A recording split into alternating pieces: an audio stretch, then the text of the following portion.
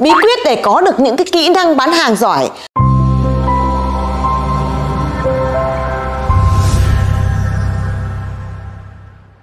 Trong nhà thuốc, ngày hôm nay tôi sẽ lên cái video này chia sẻ cho các bạn, biết đến cái bí quyết để có được cái kỹ năng bán hàng giỏi. Các bạn cùng tôi xem hết cái video này nhé.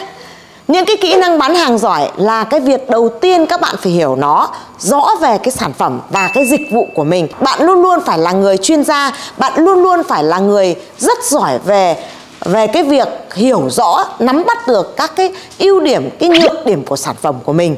Cái thứ hai đó là luôn luôn lắng nghe khách hàng. Lắng nghe khách hàng là một cách tập trung và luôn luôn nắm bắt được những cái nhu cầu của khách hàng. Qua cái việc lắng nghe đó cái thứ ba là tạo ra những mối quan hệ lâu dài với lại khách hàng. Bạn biết là trong bán hàng thì cái việc mà bạn có được một cái mối quan hệ bền vững với lại khách hàng, nó sẽ giúp cho bạn gia tăng được doanh số. Cái thứ tư nữa là trong bán hàng thì quan trọng nhất là bạn phải thể hiện được cái ngôn ngữ cơ thể. Cái ngôn ngữ cơ thể ở đây bạn càng tỏ ra là tự tin, bạn càng tỏ ra là hào hứng, bạn càng tỏ ra là nhiều nhiệt huyết thì khách hàng họ càng thu hút bởi chính cái sự nhiệt huyết đó. Cái thứ năm là bạn phải sử dụng câu chuyện.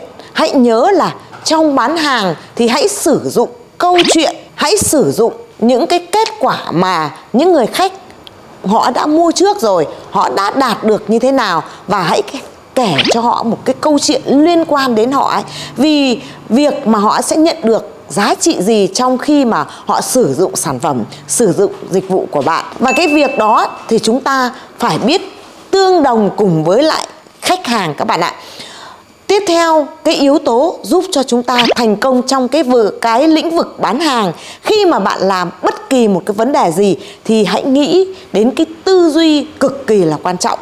Ví dụ trong cái lĩnh vực bán hàng thì ở đây cái tư duy của chúng ta rằng là chúng ta bán hàng chính là giúp cho khách hàng đạt được cái nhu cầu cũng như là những cái uh, nỗi đau của họ ấy. Và chúng ta phải làm sao mà khắc phục được những cái vấn đề những cái nỗi đau của khách hàng của mình chứ không phải là bán hàng. Ở đây chúng ta không phải là cố gắng trèo kéo hay là năn nỉ hay là ỉ ôi theo đuổi khách hàng đó. Cái việc mà chúng ta tương đồng đồng cảm cùng với lại cái nỗi đau cùng với lại những cái vấn đề của khách hàng và giúp cho khách hàng giải quyết được cái nỗi đau đó thì khách hàng sẽ yêu quý mình.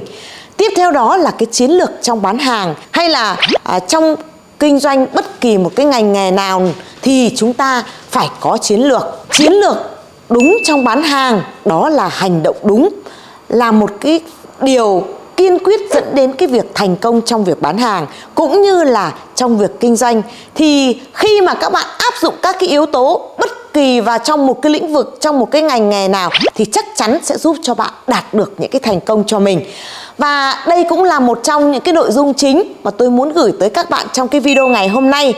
Nếu mà bạn thấy rằng là cái kiến thức này nó rất là hữu ích cho các bạn, cho những chủ nhà thuốc đang bán hàng, thì hãy comment ở phần bên dưới và đăng ký kênh của tôi tôi sẽ chia sẻ rất nhiều những cái kiến thức về bán hàng, về phát triển bản thân, về đàm phán và nhiều những cái kiến thức quan trọng khác. Và bây giờ thì xin chào và hẹn gặp lại các bạn ở những cái video tiếp theo. Chúc cho các bạn kinh doanh nhà thuốc thành công. Xin chào và hẹn gặp lại các bạn.